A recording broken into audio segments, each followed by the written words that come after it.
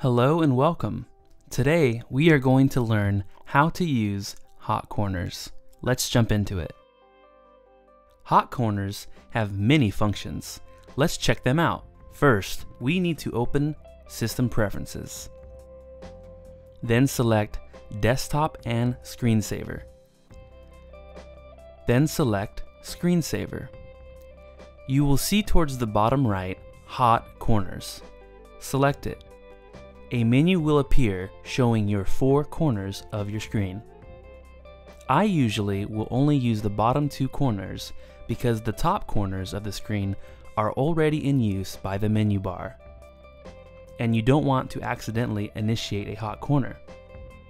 As you can see in this example, I will orchestrate my bottom right corner to start screensaver. Choose what you would like the specific hot corner to do, then click OK. Notice when I move my cursor to the bottom right hot corner, my screensaver starts up, just like it was assigned to do.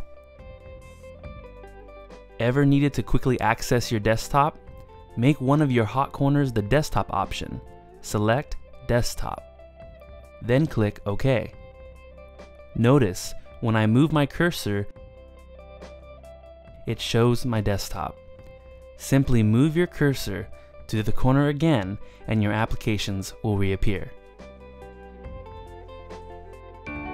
Enjoy this video? Like and subscribe. Thanks for watching.